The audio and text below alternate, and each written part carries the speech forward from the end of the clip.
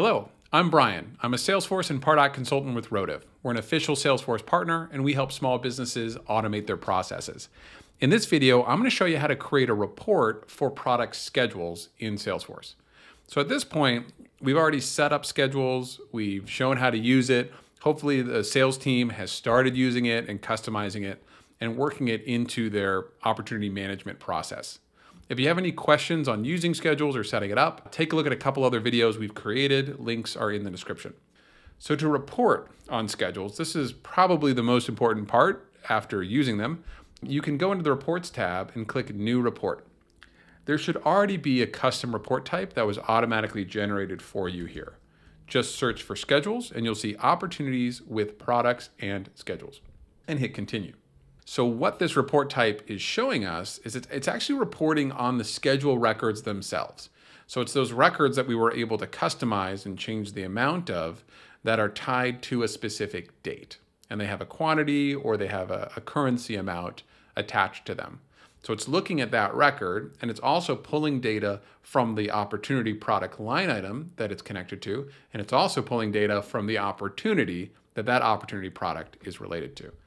You can see that on the left-hand side, if you open up this fields drawer here, you can see what data we have available in this report. So we have opportunity information, product information, and schedule information all available to us here. So what we want to do is let's just first of all get some data into this report to work with. So click on filters and update the close date or the opportunity status as you see fit. So in my demo environment, I added schedules to opportunities that have not yet been closed. So they're not showing up here. Most likely what you're gonna wanna see is, is both in two different reports. You're probably gonna wanna see what's my forecast for opportunities that have been closed, so you know what revenue is gonna be coming in or, or what quantity of products need to go out. But you also might wanna look at your opportunities that are still open to give you your forecast of you know, what, what could happen in the future. But at this point, I'm just going to open up all these filters. So close date, I'll set to all time, opportunity status, I'll set to any. And now we've got some of these schedule records coming through. And right off the bat in our outline, we can see who the opportunity owner is, what the name of the opportunity is, the amount, the stage of that opportunity. And then we get some details about the product, like the name of the product, that's important what the quantity was, what the sales price was, and what that total price is. And if we scroll further over, we get some more details about the schedule. So we have a lot of information in this report. So let's start to clean this up. I'm gonna get rid of the opportunity owner, get rid of type. The total amount of the opportunity, I'm not really worried about that.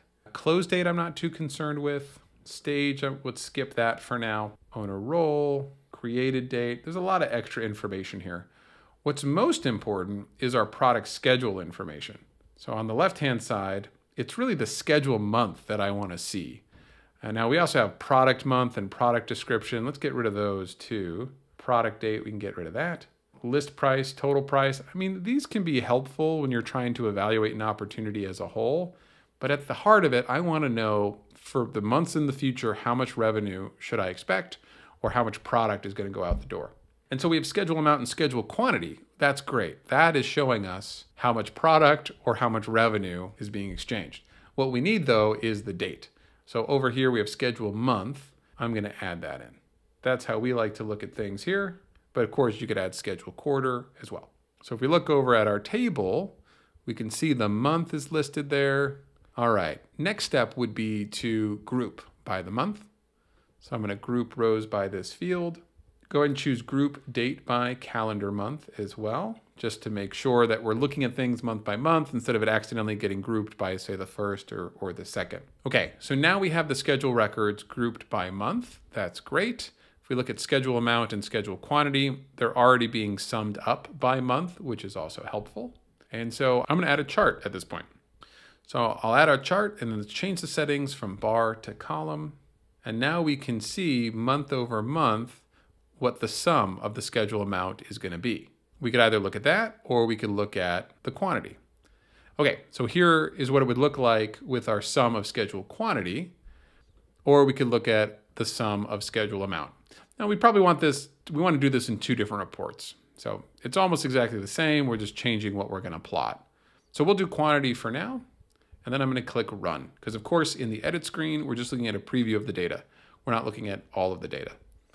So if we're looking here in 2022, in January, uh, hopefully, we should have sent out 25 units. And then from February on, we had a 1,083 for each of those months for an entire year.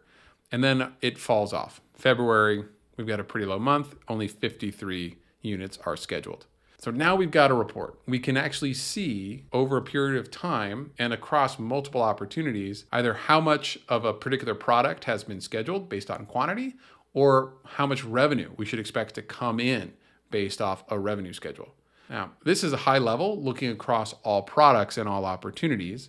What you'll want to do is just add some additional filters. Maybe just look at closed won opportunities and likely filter the product name as well so that you know are we just looking at product A or product B to help you plan and forecast for whatever that, that future demand is going to be. I hope you found this helpful. If you did, please hit the like button and click subscribe if you want to see more videos like this one. Thanks for watching.